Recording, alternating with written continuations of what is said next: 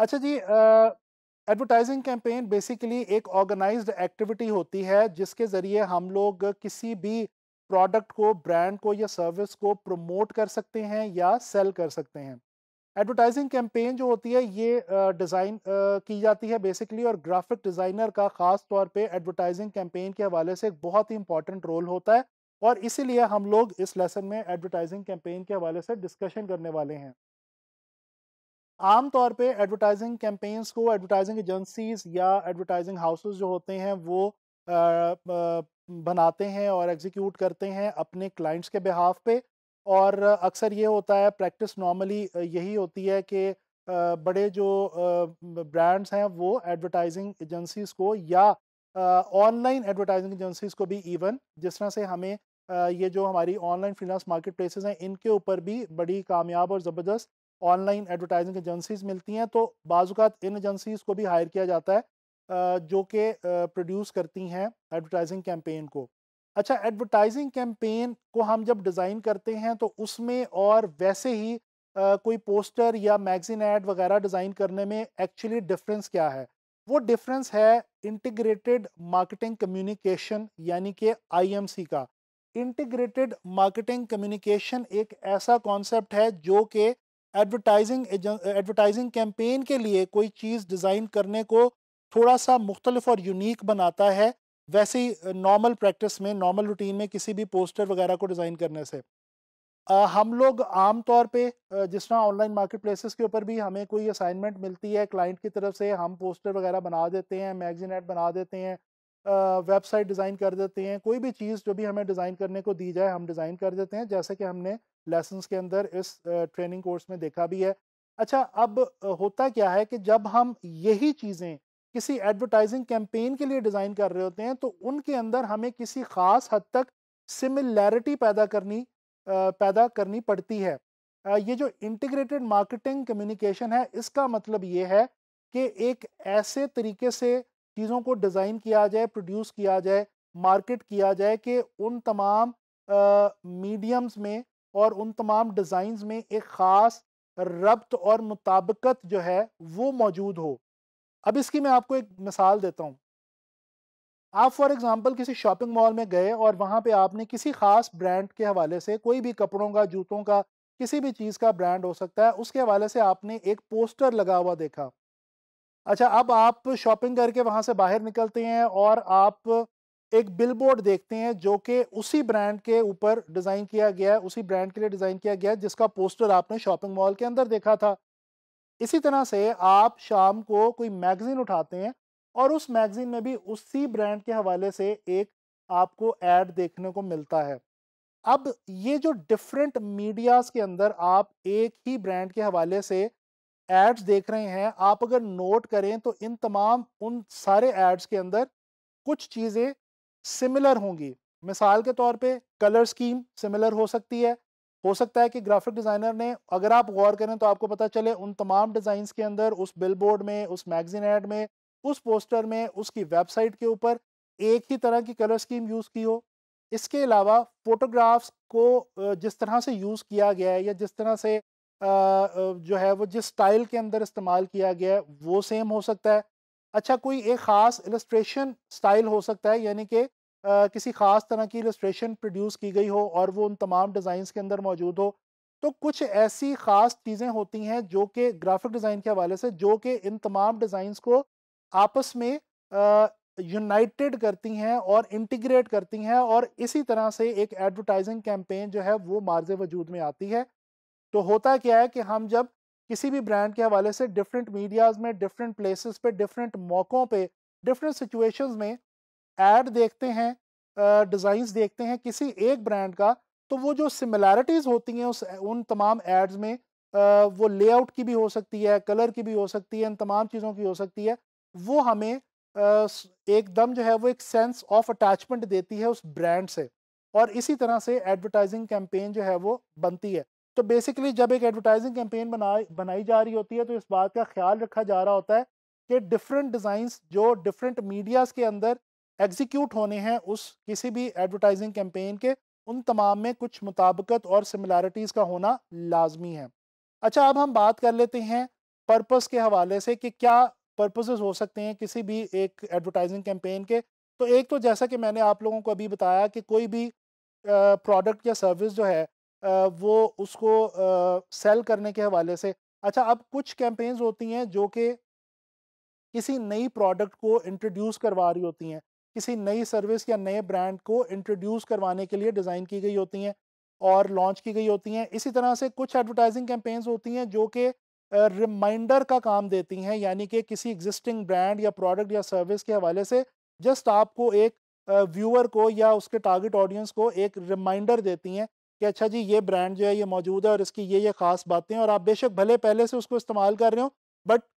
Keep with it और keep using it और stay with that product और brand ताकि आप जो है वो उसके उसको यूज़र बने रहें और जुड़े रहें उस ब्रांड के साथ। इसके अलावा uh, कुछ कैंपेन्स होती हैं जो कि uh, uh, कोई मर्जर्स वगैरह अनाउंस करने के लिए डिज़ाइन की गई होती हैं। जिस तरह से बाज़ात ये होता है कॉरपोरेट इंडस्ट्री में कि कुछ बड़े क्लाइंट्स या बड़ी जो कुछ फर्म्स होती हैं, वो आपस में एक दूसरे के साथ इकट्ठी हो जाती हैं और एक नया ब्रांड इंट्रोड्यूस कर देती हैं तो इस सूरत के अंदर भी हम जो है वो एडवर्टाइजिंग कैंपेन्स देखते हैं। ये तो बात हो गई पर्पस के हवाले से। अब कुछ बात करते हैं कि एडवर्टाइजिंग कैंपेन बनाई किस तरह से जाती है, कौन से स्टेप्स हैं जो कि इसमें इन्वॉल्व हैं? तो जनाब, सबसे पहले वही स्टेप है जो कि डिज़ाइन को बनाने से पहले हम शुरू करते हैं रिसर्च का। सबसे पहला स्टेप रिसर्च। रिसर्च की जाती है उस कैंप, किसी भी एडवर्टाइजिंग कैंपेन को बनाने के लिए मार्केट के बारे में मार्केट के अंदर रिसर्च की जाती है, उस प्रोडक्ट के हवाले से या उस सर्विस के हवाले से। फिर सेकंड स्टेप पे टारगेट ऑडियंस डिफाइन की जाती है। ये स्टेप भी आपको याद होगा जब मैंने शुरू में आपको डिज़ाइन का प्रोसीजर बताया था, उसमें भी मैंने आपको यही स्टेप्स पहले दो जो है वो बताए थे। तो यहाँ पे भी हम वही स्टेप फॉलो कर रहे हैं कि हम टारगेट ऑडियंस या टारगेट कंज्यूमर्स के बारे में बात करेंगे, उनको हम जज करेंगे कि किस इकोनॉमिक क्लास के किस सोशल क्लास के लोग हैं किस एज ग्रुप के लोग हैं जिनके लिए वो एडवर्टाइजिंग कैंपेन जो है वो बनाई जा रही है। इसके बाद जी कॉपी स्ट्रैटेजी ये एक तीसरा स्टेप है। कॉपी स्ट्रैटेजी क्या है? आप लोगों को याद होगा मैंने कोर्स के शुरू में आप लोगों को स्लोगन और कैप्शन के हवाले से बताया था। आ, मैंने आपको बताया था कि हम किस तरह से किसी भी क्लाइंट के लिए स्लोगन और कैप्शन का इस्तेमाल करते हैं ग्राफिक डिज़ाइन में अपने डिज़ाइन के अंदर तो वो जो स्लोगन और कैप्शन डिफाइन किए जाते हैं, वो इस तीसरे स्टेप पे डिफाइन किए जाते हैं और एक आइडिया जो है वो बना लिया जाता है कि हम ये जो कैंपेन बनाएँगे, इसके जो विजुअल्स होंगे वो किस किस्म के होंगे और उसके अंदर किस किस्म की बात की गई होगी, किस किस्म का मैसेज दिया जा रहा होगा, कलर्स वगैरह किस तरह के होंगे तो ये आइडिया डेवलपमेंट भी कॉपी स्ट्रैटेजी से रिलेटेड स्टेप है। अच्छा इसके बाद मीडिया स्ट्रैटेजी बनाई जाती है। मीडिया स्ट्रैटेजी के अंदर ये फैसला किया जाता है कि कौन कौन से मीडियाज़ को ज़्यादा इस्तेमाल किया जाएगा इस कैंपेन को, इस प्रोडक्ट को या सर्विस को लोगों तक पहुँचाने के लिए। आया कि प्रिंट मीडिया के अंदर ज़्यादा एडवर्टीजमेंट्स की जाएँगी या ब्रॉडकास्ट मीडिया में टीवी पे ज़्यादा कमर्शियल्स बनाई जाएँगी इस कैंपेन के हवाले से, ज़्यादा स्पेंडिंग कहाँ पे की जाएगी? ये सारा एक जायका जो है वो मीडिया स्ट्रेटजी के हवाले से बना लिया जाता है। इसके बाद बजटिंग का एक स्टेप आता है, डेफिनेटली मनी इज़ इन्वॉल्व पैसा इन्वॉल्व है एडवर्टाइजिंग uh, के प्रोसेस के अंदर तो डेफिनेटली बजटिंग की जाती है और एक तखमीना लगाया जाता है कि कितने पैसे जो हैं वो दरकार होंगे डिज़ाइन के बनने से ले के फाइनल एग्जीक्यूशन तक और लोगों तक उस कैंपेन के पहुँचने तक कितने पैसे जो हैं वो कहाँ कहाँ पे लगने हैं वो सारा एक जो है वो एस्टिमेट लगा लिया जाता है। इसके बाद जनाब जो है वो एग्जीक्यूशन की जाती है। और एग्जीक्यूशन जो है वो करके ये कैंपेन लोगों तक पहुँचा दी जाती है। अच्छा इस तमाम प्रोसेस के अंदर डिज़ाइनर का एक बहुत इंपॉर्टेंट रोल रहता है और मार्केटिंग uh, के लोग और दूसरे जो कॉपी राइटिंग के लोग हैं वो ग्राफिक डिज़ाइनर के साथ मिलके हर स्टेप के ऊपर जो है वो फैसला करते हैं कि हमने विजुअल्स को किस तरह से रखना है और हमारी जो है वो विजुअल लैंग्वेज क्या होगी इस कैंपेन को बनाने के लिए। तो visual language is very important for any advertising campaign और वो डिसाइड करता है और डिज़ाइन करता है ग्राफिक डिज़ाइनर यानी कि हम लोग जो ग्राफिक डिज़ाइनर्स हैं, हम लोग ही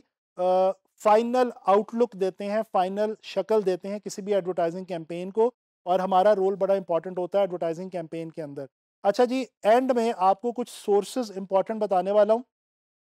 ये एक वेबसाइट है W W W dot ads of the world dot com ये वेबसाइट आप लाजमी विज़िट करें। अगर आप में से किसी को भी एडवर्टाइजिंग के हवाले से या एडवर्टाइजिंग कैंपेन्स के हवाले से जानने का जो है वो शौक़ है या आप अगर इस पर रिसर्च करना चाहते हैं तो गो टू दिस वेबसाइट। इस वेबसाइट को देखें। ये एक इंटरनेशनल वेबसाइट है जिसके ऊपर आपको दुनिया की बड़ी बड़ी जो एडवर्टाइजिंग कैंपेन्स हैं वो देखने को मिलेंगी और आपको समझ आएगी कि एडवर्टाइजिंग कैंपेन एक्चुअली क्या होती है और उसके अंदर क्या ख़ास बात होती है। और इसके अलावा आपको कुछ रिव्यूज़ भी मिलेंगे एडवर्टाइजिंग के हवाले से।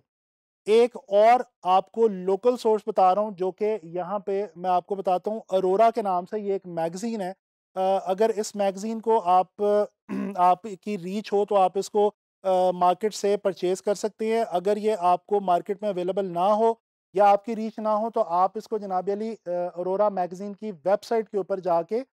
इस मैगज़ीन को पढ़ सकते हैं और इसके जो आर्टिकल्स हैं उनको पढ़ सकते हैं। इस मैगज़ीन के अंदर भी एडवर्टाइजिंग कैंपेन्स के हवाले से रिव्यूज़ दिए गए होते हैं और ये हमारे पाकिस्तान की मार्केट को काफ़ी ज़्यादा अच्छे तरीके से ये मैगज़ीन कवर करता है, और इसकी एक ये भी इसमें आपको फ़ायदा हो जाएगा कि जो लोकली पाकिस्तान की कैंपेन्स हैं, जो कि आप लोग टीवी पे भी देख रहे होते हैं बिल बोर्ड्स पे भी देख रहे होते हैं, पोस्टर्स पे, मैगजीन, मैगजीन्स में देख रहे होते हैं, उन कैंपेन्स के हवाले से आपको पढ़ने का और सीखने का मौका मिलेगा और उनमें क्या अच्छी बातें हैं, क्या प्लस पॉइंट्स हैं, क्या नेगेटिव पॉइंट्स हैं, वो भी आपको इस मैगज़ीन में तमाम के तमाम जो है वो सीखने को मिलेंगे। तो इस लिहाज से इन सोर्सेज को आप विज़िट करें और आप इनकी मदद से एडवर्टाइजिंग कैंपेन्स के हवाले से काफ़ी इंपॉर्टेंट इन्फॉर्मेशन जो है वो हासिल कर सकते हैं। तो this was all about advertising campaign और ग्राफिक डिज़ाइनर के लिए एडवर्टाइजिंग कैंपेन के लिए जानना बहुत ज़रूरी है, इसलिए हमने ये सारी डिस्कशन की। I hope you like it और इन ताला नेक्स्ट लेसन में हम